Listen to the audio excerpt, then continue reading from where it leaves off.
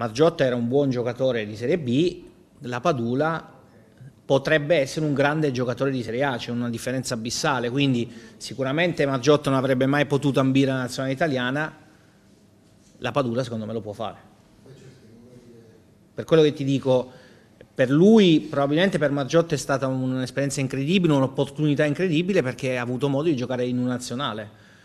cosa che non avrebbe potuto fare per la nazionale italiana. La Padula secondo me lo può fare, lo potrà fare se continuerà questa crescita, crescita costante, quindi laddove io vedo un'opportunità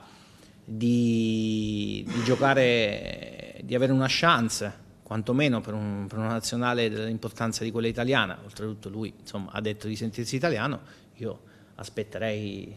un attimino. Cioè, se un allenatore azzeccasse tutte le formazioni avrebbe 186 punti a fine campionato o se, se azzeccasse tutte le sostituzioni. Quindi, eh, siccome tutti sono umani, non è una macchina, non è una catena di produzione, ma è comunque una serie di scelte fatte sulla base di tante cose che vedi in settimane. A volte si sbaglia la formazione, a volte si pensa che un giocatore possa essere adatto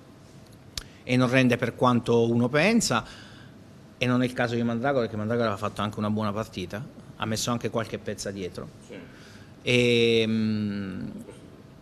o non si può immaginare che un giocatore come Caprari, ad esempio, faccia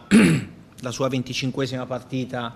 da 8, ci può stare pure che ne faccia una 6 e mezzo, perché secondo me non è una partita assolutamente insufficiente quella di Caprari, dopo che ha messo un assist gol e ne ha messi altri due nel secondo tempo. E le cose che non sono andate sono le solite cose nostre, eravamo lunghi. Eravamo molto lunghi, questo non vuol dire che quando sei lungo lo devi essere da, da dietro ma lo devi essere anche da davanti. Quindi a volte quando si soffre e si sta un po' indietro perché gli altri magari ti mettono 180 palloni lunghi e tu devi andare per forza dietro, in quel momento devono correre indietro in tutti, tutti quanti. E quindi la, la squadra si accorcia da dietro ma si accorcia anche da davanti